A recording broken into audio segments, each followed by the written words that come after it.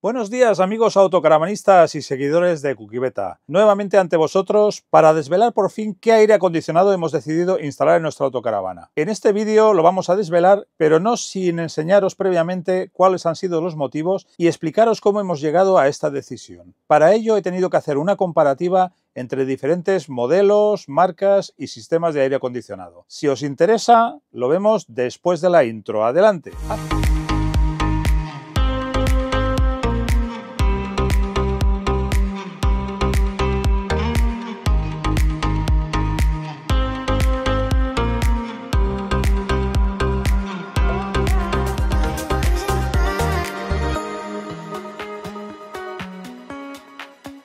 Hace ya tres años que compramos nuestra autocaravana y desde entonces una de las prioridades hubiera sido montar un aire acondicionado.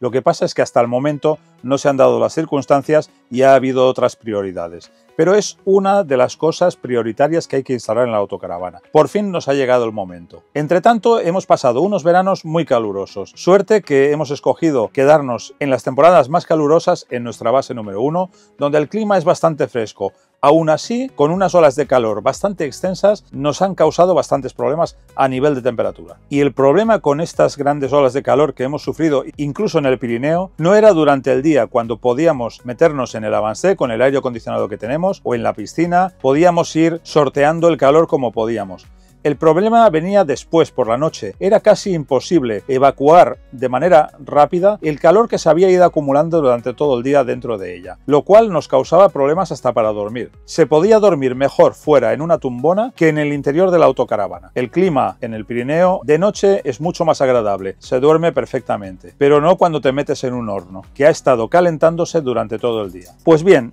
la decisión parte ya del verano de 2022. En verano de 2023 lo hemos trampeado como hemos podido, pero hemos decidido que no podíamos volver a pasar otro verano con este calor. Pero en verano de 2022 ya estuvimos muy tentados de comprar un aire acondicionado a 220 voltios de una gama sencilla, pero tampoco teníamos muy claro si lo que nos iría mejor sería el enfriador. Así que investigando, buscando, etcétera, al final se acabó el verano y no habíamos puesto aire acondicionado. Entonces, como ya sabéis, yo antes de comprar o instalar cualquier cosa investigo sobre el tema, me informo bien hasta que por fin procedo a la compra y a la instalación. Y sí que os puedo decir que el aire acondicionado en el que me centré en ese momento fue uno de la marca Dreya. Tenía buena pinta, es un aire acondicionado bastante bonito, tanto externa como internamente, funciona a 220 voltios, pero aún ahí no sabía lo que era un aire acondicionado inverter y no sabía cómo interpretar los consumos en relación con la cantidad de frío que ofrece cada modelo. ¿Qué descubrí investigando sobre este aire acondicionado? Que con la misma carcasa y seguramente el mismo aire acondicionado interno lo vendían diferentes marcas. Encontré el mismo aire acondicionado bajo cuatro marcas diferentes y aún existen más. Si seguís investigando en la web posiblemente lo encontraréis. Yo lo encontré bajo la marca Dreya evidentemente y las otras marcas eran EZA que lo distribuía eh, Narbonne Accessoires, también sobre Daitsu y también sobre la marca Gree.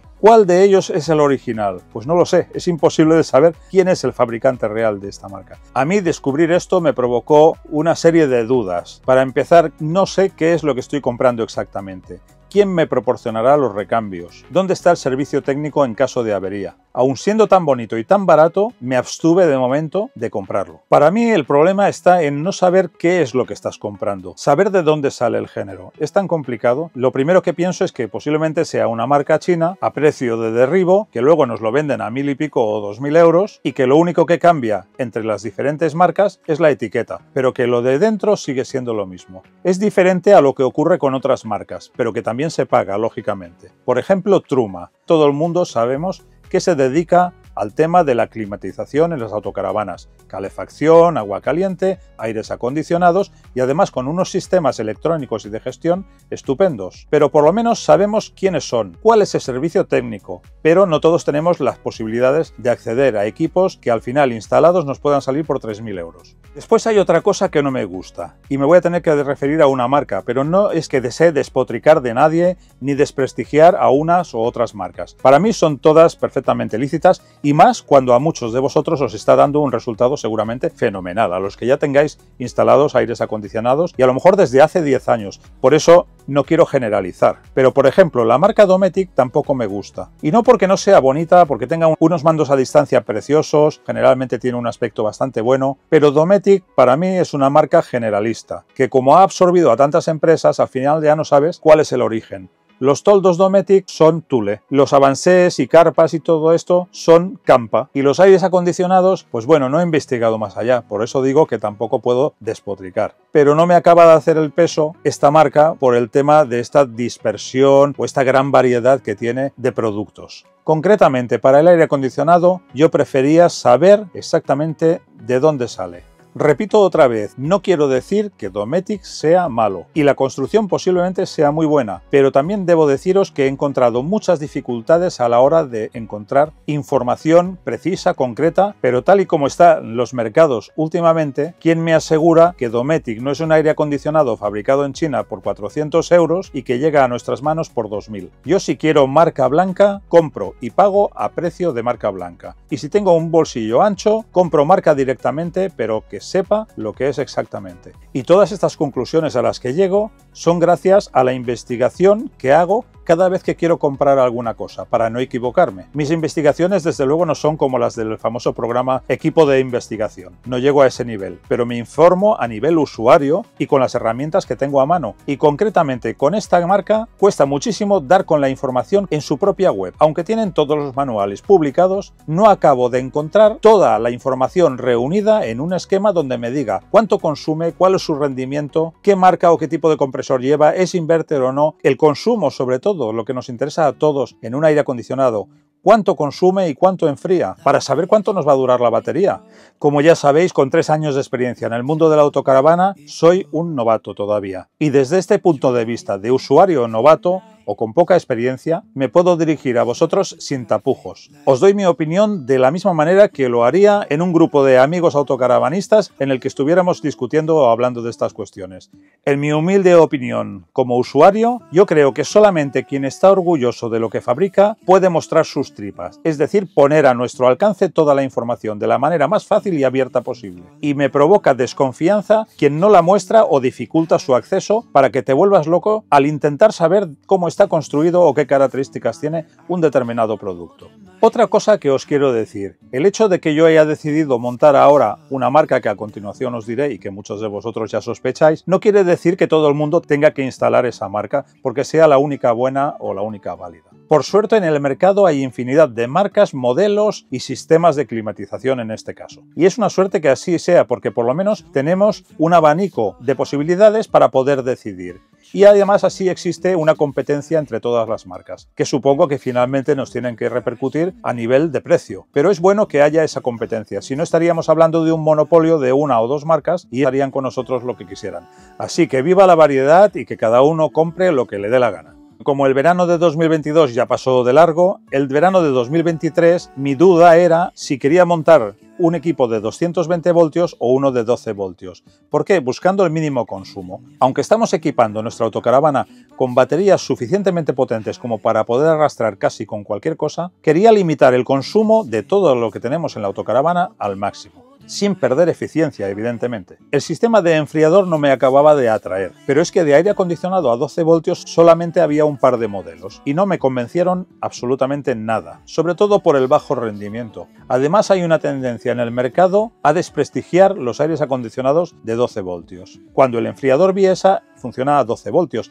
y precisamente por eso le gusta a muchísima gente. Así que finalmente me vi bastante decantado hacia el lado de los enfriadores Biesa y empecé a informarme también sobre ellos. Pero tuve oportunidad de poder hablar con varios compañeros para saber cuál era su rendimiento, qué tal se encontraban con el enfriador, saber cuál era su nivel de satisfacción. Amigos míos personales. Pero es que además en los comentarios que me habéis ofrecido muchos de vosotros en los anteriores episodios de este tema, me dejáis claro que la opción del enfriador no es para todos la mejor y que muchos de estos usuarios manifiestan abiertamente que se han equivocado y que realmente no es lo que ellos querían. Por lo que hablábamos en otro vídeo, que una cosa es tener frío y otra es sensación de frío. Por todos estos motivos empecé a desencantarme un poquito con el tema del enfriador también. Lo bueno de toda esta búsqueda de información que he hecho durante estos últimos meses es que he aprendido muchísimo sobre aires acondicionados, sin llegar a ser un profesional, ojo, simplemente como usuario. Yo no sabía cómo funcionaba un aire acondicionado, no sabía qué era el sistema inverter, no sabía cómo funcionaba ni lo que era un compresor de aire acondicionado. Tampoco conocía la gran variedad de sistemas, de marcas y de modelos que existían en el mercado. No había oído hablar nunca de coeficientes de rendimiento o de coeficientes de eficiencia. Tampoco sabía qué diferencia había entre los vatios de consumo, los vatios de potencia, las frigorías, los BTU. Todo esto era chino para mí porque podemos encontrar esta información a veces en las características de los aires acondicionados, pero no sabemos interpretarla. Que a nosotros nos digan que un equipo tiene 7800 BTU, pues eh, es como hablarme en chino. Solamente nos puede servir para compararlo con cuántas BTU ofrece otra marca o modelo, pero si esa otra marca o modelo no te lo dice, pues ya has perdido el hilo y ya no sabes en base a qué comparar. Así que la conclusión más fiable a la que llegué para poder medir qué tanto bueno es un modelo o otro o un sistema u otro es el coeficiente de eficiencia energética, el EER. Así que por eso digo que no me he convertido en un profesional, pero puedo decir, pues como se pone en un currículum cuando hablamos de nuestros conocimientos a nivel de ofimática, que tengo conocimientos a nivel usuario. Así que vamos a entrar ya en cuáles han sido los motivos por los cuales yo me he decantado hacia un aire acondicionado de 12 voltios, el Open Air de Bergstrom.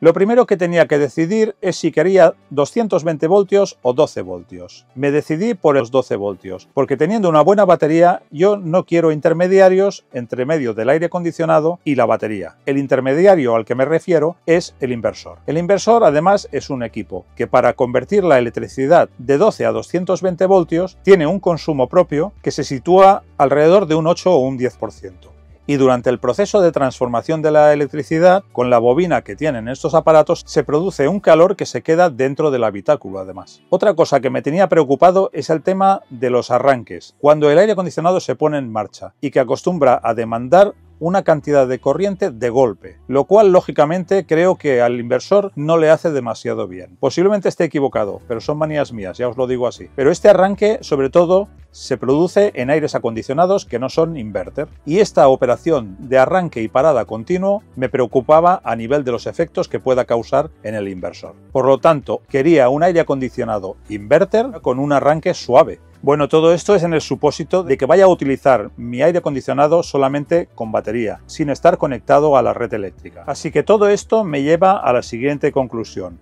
Cuando me conecto en un camping a 220 voltios, me da igual que esa electricidad sirva para alimentar directamente el aire acondicionado o me sirva para alimentar el cargador de baterías que va a ir cargando la batería a medida que el aire acondicionado vaya consumiéndola. Pero es que además hay otro sistema que podemos utilizar. Se puede instalar exclusivamente para el aire acondicionado un transformador que transformen la electricidad de 220 voltios a 12 voltios. Así, cuando estamos conectados en un camping, podemos cargar el consumo del aire acondicionado de 12 voltios directamente a la red eléctrica, sin tener que pasar por la batería. Pero ya os digo que precisamente eso es lo que menos me preocupa. Y la cuestión más importante para mí es la del consumo. Y el aire acondicionado con menor consumo que he encontrado es justamente este, el Bergstrom Open Air, con un consumo de 56,4 amperios hora. En el caso del cargador de baterías que yo tengo, que es un Victron Multiplus, este es capaz de cargarme la batería a un ritmo de entre 50 y 70 amperios hora. Por lo tanto, está dentro de los baremos máximos de consumo en los que se mueve el Open Air de Bergstrom.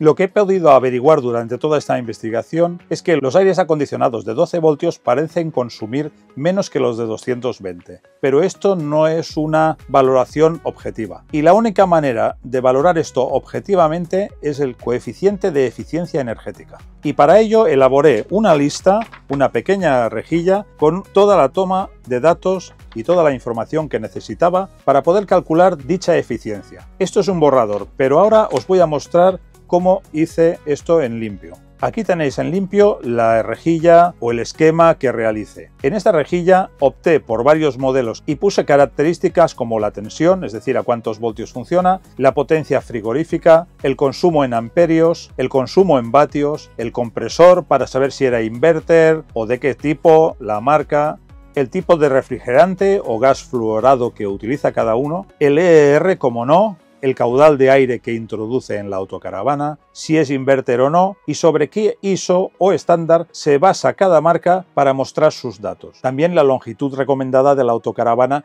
en la que se va a hacer servir ese aire acondicionado. Debo deciros, y, estoy, ya estaba seguro de ello, que no soy el único que ha hecho una comparativa similar o una especie de investigación similar. Recientemente un seguidor me dijo que ya había visto algo parecido relacionado con los consumos y rendimientos de los aires acondicionados en el foro AC Pasión. Aquí os muestro lo que nos hemos encontrado. Este usuario ya había hecho una especie de esquema similar al mío, tal y como lo podéis ver. Si ponéis en el motor de búsqueda de Google, en el foro AC Pasión, rendimiento o consumos de los aires acondicionados, encontraréis enseguida esta información que os acabo de mencionar. Y los resultados que le dio a este compañero son muy similares a los que he obtenido yo. Lo que pasa es que yo he apurado un poquito más introduciendo en la comparativa la cantidad de energía que se pierde en el tramo de cable de 12 voltios que hay desde el aire acondicionado hasta la batería, así como la cantidad de electricidad que se pierde a través de un inversor si lo que queremos es instalar un aire acondicionado de 220 voltios. Como no quiero hacer un vídeo excesivamente largo, no voy a entrar a detallar cada uno de estos aires acondicionados que he investigado, ni a valorar sobre los resultados que he obtenido de cada uno de ellos. Aquí tenéis la imagen, podéis hacer una captura de pantalla e investigarlo por vosotros mismos. Pues bueno, ahora vamos a hablar del EER y para ello he querido hacer una pequeña presentación de PowerPoint para poder explicarme mejor y que lo entendáis también mejor. Bien, aquí podéis ver dos siglas diferentes, COP o COP que significa coeficiente de rendimiento, en inglés Coefficient of Performance, y el EER, que es el coeficiente de eficiencia energética, o en inglés Energy Efficiency Ratio. La simple diferencia entre COP y EER es que el COP se refiere a equipos que proporcionan calor y el EER a equipos que proporcionan frío y este coeficiente lo que nos va a dar es el resultado de la relación entre la potencia real de un aparato, es decir, la potencia de trabajo, comparada con la potencia necesaria para conseguir ese calor o ese frío. Es decir, lo que queremos saber es, por cada vatio de energía consumido, cuántos vatios de potencia frigorífica vamos a obtener. En el caso del Open Air, por ejemplo, es por cada vatio de potencia consumida conseguimos 2,61 vatios de potencia frigorífica. En este caso 2,61 es el EER del Open Air y por lo tanto cuanto mayor es este coeficiente mejor es la eficiencia. Voy a explicaroslo de otra manera gráfica. Aquí tenemos una estufa eléctrica que tiene una potencia de 2000 vatios. Estamos en una habitación a 10 grados y queremos ponernos en 25 grados y sabemos que esta estufa tiene una resistencia que normalmente consume 2000 vatios para ofrecernos los 2000 vatios de potencia térmica. Para saber su eficiencia o rendimiento tenemos que dividir la potencia del aparato, 2000 vatios, por la potencia calorífica, lo cual nos da un resultado que es el COP un coeficiente de 1, lo cual quiere decir que por cada vatio consumido obtenemos una potencia o un rendimiento de 1 vatio, esto es lo que sucede con una estufa eléctrica que funciona con una resistencia, que consume mucho. Con los aires acondicionados el caso es diferente. Un aire acondicionado trabaja con un gas y juega con su compresión para producir frío, lo cual consume mucha menos energía. Y aquí tenéis el ejemplo de un aire acondicionado de autocaravana, en este caso el Open Air de Bergstrom, que tiene una potencia eléctrica declarada de 2000 vatios, 2020 para ser exactos, pero lo redondeamos a 2000 para los cálculos. Pongamos que estamos en una temperatura exterior de 35 grados centígrados y queremos conseguir en el interior de la autocaravana una temperatura de 20 grados. Para conseguir esta temperatura interior en la autocaravana vamos a tener que ponerlo al máximo y el consumo declarado por Bergstrom de este aire acondicionado es de 56,4 amperios. Vamos a traducirlo a vatios. Teniendo en cuenta que una batería de 12 voltios, cuando está bien cargada, nos da una media de 13 voltios, vamos a hacer la operación en base a esos 13 voltios. De manera que los 56,4 amperios en vatios representan 733 vatios. Fijaros que para conseguir esa potencia eléctrica de 2000 vatios solamente nos han hecho falta 733 vatios. Para saber en este caso el rendimiento, el EER, hay que dividir la potencia declarada de 2000 vatios, recordemos, por el consumo, que son 772 vatios, consumo real. Y ahora os explico el por qué 771 y no 733. El resultado que obtenemos es un coeficiente de 2,61. ¿Qué quiere decir esto? Que por cada vatio consumido conseguimos un rendimiento de 2,61 vatios. Esto sí que es eficiencia. ¿Y por qué he convertido el consumo de 733 vatios a 771? Pues muy fácil, porque aquí hemos tenido también en cuenta la caída de tensión en el cable eléctrico que va desde el aire acondicionado hasta la batería. Y esto lo he hecho como media, un 5% de caída de tensión. Y este cálculo está hecho en base a un cable de 8 metros de longitud y 25 milímetros cuadrados de espesor, que es lo que utiliza este aire acondicionado. Es decir, para resumir que este cable de 8 metros nos incrementa el consumo del aparato en un 5%. Si en lugar de tener un aire acondicionado a 12 voltios tuviéramos uno a 220, entonces tendríamos que considerar también el consumo que tiene la caída de tensión que provoca el inversor eléctrico de 12 a 220 voltios. Yo he tomado como referencia un cálculo que hizo Azimut con los inversores que ellos eh, comercializan, donde manifiestan que acostumbra a ser de alrededor de un 8%. Y yo con los cálculos que he hecho para otros aires acondicionados de 220 voltios he tomado como referencia una cifra media de un 10% de consumo. Es decir, que casi cualquier inversor va a incrementar el consumo del aire acondicionado en un 10% y por lo tanto a la hora de calcular su rendimiento voy a tener en cuenta también el consumo del inversor. En mi caso, el inversor que yo tengo, que es un Victron Multiplus, actúa o hace las veces de cargador, inversor y fuente de alimentación. De manera que cuando estoy conectado en un camping directamente va a hacer su función y no va a dejar que consuma energía de mi batería. Es decir, que no voy a estar cargando mi batería a medida que la gasto, sino que directamente el Multiplus se va a encargar de conducir la corriente de 220 desde la toma exterior hacia el aire acondicionado sin tener que pasar por la batería. Y si hay algún excedente de energía, también aprovechará para cargarme la batería si la tengo un poco descargada. Pero no todos los inversores funcionan así. Gracias a este coeficiente, después las marcas elaboran esa famosa escala en las cuales se valora la eficiencia de cada aparato por letras, tal y como podéis ver en esta etiqueta.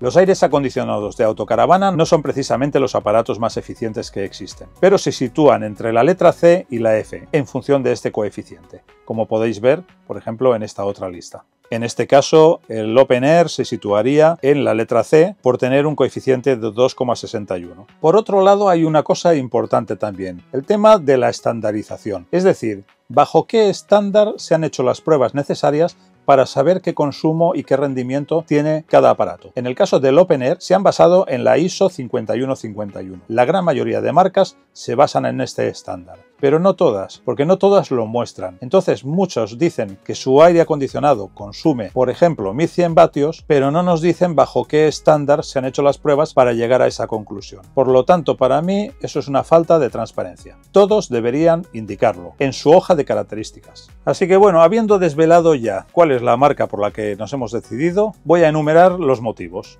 Lo primero, que es un aire acondicionado a 12 voltios, como yo quería. Lo segundo, su potencia, 2020 vatios. Lo tercero, su EER, su nivel de eficiencia, el más alto del mercado, como os he dicho antes. Es decir, que con cada vatio que me consume me produce 2,61 vatios de potencia de enfriamiento. Siguiente motivo, es un aire que está fabricado para autocaravanas de hasta 7 metros. Mi autocaravana es de 7,50 metros, pero el interior del habitáculo se adapta a esta medida. Por otro lado está el tema estético. La consola interior me encanta y el aparato en el techo, la parte exterior, también me gusta mucho porque es uno de los más planos del mercado. Tiene una altura de 20 centímetros tan solo, lo cual lo hace muy discreto y al mismo tiempo aerodinámico. 20 centímetros solamente, es el más bajo del mercado. Además tiene una particularidad este aire acondicionado y es que se puede colocar en diferentes posiciones, en función de cómo tengamos puestas los paneles solares o las claraboyas. En cuanto a la parte interna, me han gustado especialmente todas las salidas de aire que tiene, regulables y la manera de poder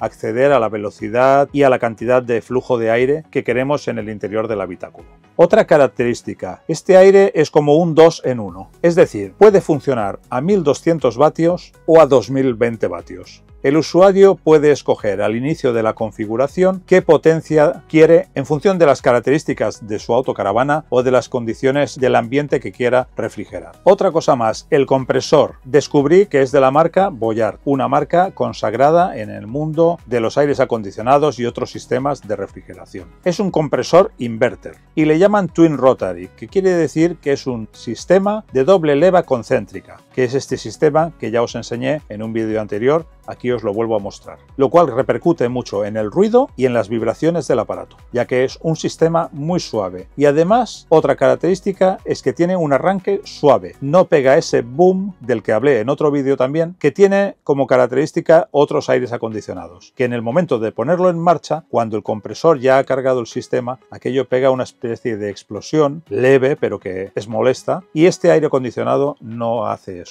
Ah, y este compresor también es el responsable de que el consumo sea mucho inferior al de otros aires acondicionados convencionales o otros sistemas. Otro motivo, el inverter. Además, este aire acondicionado no es solamente inverter, que ya está muy bien, es full inverter ¿Y qué significa esto? Primero, el compresor es inverter, como los de cualquier otra marca que diga que su aire acondicionado es inverter. Pero el sistema full inverter, mediante una centralita o una placa base, controla la velocidad variable de este compresor para adaptarla sin parar y poner en marcha continuamente a la velocidad necesaria según la temperatura que tengamos en ese momento en nuestro habitáculo. Controla además al mismo tiempo la velocidad del electroventilador del condensador y también controla la velocidad de los ventiladores o que introducen el aire dentro de nuestra autocaravana. Y el sistema Full Inverter lo que consigue es combinar estos tres sistemas de manera compensada para que todos funcionen al unísono y conseguir así el menor consumo posible. Y bueno, vamos a atacar unos cuantos contras también, porque antes de que me lo mencionéis, y también hay cosas que al principio no me parecían bien, pero voy a justificar también por qué sigo decidiéndome por este aire acondicionado. La primera de ellas es que no tiene bomba de calor. ¿Y por qué he obviado esta característica? ¿Por qué no la quiero? No es que no la quiera, es que no me importa que este aire acondicionado no tenga esta característica. Porque las bombas de calor de los aires acondicionados no son tan capaces de calentar como de enfriar y no me permiten poder prescindir de la calefacción de la autocaravana. Y esta es una característica que no solo muchos fabricantes admiten y que además se puede comprobar a través de los coeficientes de eficiencia, sino que hay muchos usuarios que me lo han dicho. Pero bueno, si a alguien le calienta suficientemente bien, que me lo diga aquí en los comentarios y así otros usuarios podrán beneficiarse también de estos comentarios contradictorios. Otra contra que me han ido manifestando estos últimos días algunos seguidores y también algún instalador me lo ha manifestado. La problemática de tender un cable de 12 voltios desde el aire acondicionado hasta la batería. La verdad es que lo encuentro un argumento como mínimo un poco absurdo. Sí que es verdad que muchas autocaravanas tienen ya una preinstalación de cable de 220 que es más fino que el cable de 12 voltios que llega hasta la claraboya donde normalmente se ha de montar el aire acondicionado. Que este cable es menos grueso que el de 12 voltios. Y estamos de acuerdo. Yo no veo la dificultad de pasar un cable de 12 voltios por el medio del sándwich del techo de la autocaravana, el sándwich ya sabéis, el grosor de espuma que hay, aprovechando la preinstalación del cable de 220 voltios. Tengo que mirar y hablar esto con un técnico, con quien me lo instale, para decidir si haré pasar el cable por el exterior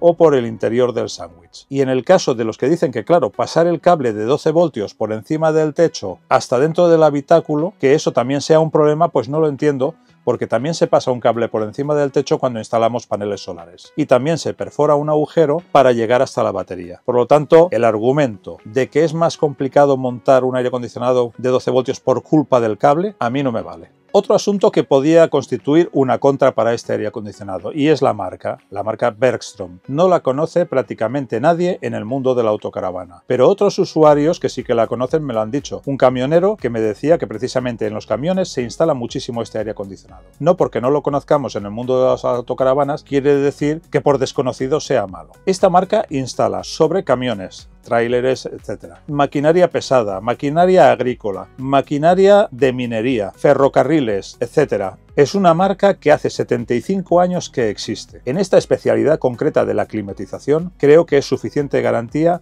como para que por lo menos yo me interese por ella y confíe en ella. Yo desde luego, como vosotros, no conocía esta marca. Bergstrom un nombre más o menos difícil de pronunciar, y con su apellido Opener. Yo descubrí esta marca gracias a un anuncio que vi en una revista, en la revista AutoC. Creo que todos recibís emails o estáis suscritos a esta revista y podéis ver el tipo, la publicidad y los artículos que hablan. Súper interesantes. Pues la primera vez que vi esta marca fue en esa revista. Inmediatamente me interesé y escribí un email a Bergstrom para pedir todo tipo de información, sin ni siquiera decir que era youtuber. Es decir, que no tuvieron que esforzarse en contestarme un email como simple usuario. Y si no, os reto a que vosotros mismos pidáis información a Bergstrom a ver qué tal os responden. El caso es que me respondieron con un email extensísimo. Además, me enviaron una cantidad de información gráfica tremenda, así como las características, el manual de uso, el manual de instalación, los rendimientos, fueron espléndidos. Me encantó el trato de buenas a primeras con esta marca, sabiendo que yo era un simple usuario. Ah, y uno de los folletos que más me interesó es este que os muestro en el que indican el consumo del aire acondicionado bajo diversas condiciones. Es decir, cuánto puede consumir este aire acondicionado o qué autonomía puedes llegar a tener en función de la batería que tengas instalada y de la cantidad de paneles. Dirna Bergstrom es reconocida y tiene fábricas en todo el mundo. Y en el caso de España está situada en Alcalá de Henares en Madrid. ¿Qué representa esto para mí? Pues un motivo más de garantía y de confianza. Concretamente, creo que a la hora de conseguir recambios, soporte técnico o asesoramiento va a ser mucho más eficiente por encontrarse en España. La comunicación va a ser mucho más sencilla y la velocidad de respuesta también mucho mayor. Eso al menos es lo que yo creo. Resumiendo, el motivo, mejor servicio postventa. A la hora de escoger este aire acondicionado no me he dejado cegar por las marcas o por una marca que base su prestigio en eso exclusivamente, en su marca reconocida. Además de la marca, como he dicho antes, necesito poder cotejar todo tipo de información relacionada con el producto. Y esta es la única marca que he encontrado que la brinda abiertamente. Bueno, con este vídeo finalmente lo que he querido transmitiros una vez más es mostraros cómo decidimos sobre la instalación de un artículo o de una equipación u otra, cómo nos informamos antes de gastar el dinero y equipar nuestra autocaravana, explicándolo todo con el mayor detalle posible y de la manera simple y abierta posible para que todos podamos entendernos. Porque este tipo de información y este tipo de vídeos son los que a mí me habría gustado encontrar antes de comprarme este aire acondicionado. Me hubiera gustado entender todo lo que por fin he tenido que aprender por mis propios medios. Entender cómo funciona un aire acondicionado, entender qué es lo que nos tiene que ofrecer cada equipamiento que instalamos en nuestra autocaravana para así poder afinar más en nuestra elección, con el menor margen de error posible. El próximo vídeo que vamos a publicar será ya el de la instalación. Espero que donde lo instale me dejen grabar el proceso de instalación y la primera prueba de este aire. Y aún nos quedará el test final en verano, bajo temperaturas de infierno, no de invierno, de infierno, a ver qué tal responde este aire. Y si me he equivocado con él, lo diré abiertamente también, para que todos lo sepáis. Así que bueno, si os ha gustado el vídeo, como siempre, like, por favor. Si no os ha gustado, dislike. Sois muy pocos los que hacéis esto. Muchas gracias. También suscribiros, los que seáis nuevos en el canal, picar a la campanita para que os salgan los avisos de los próximos vídeos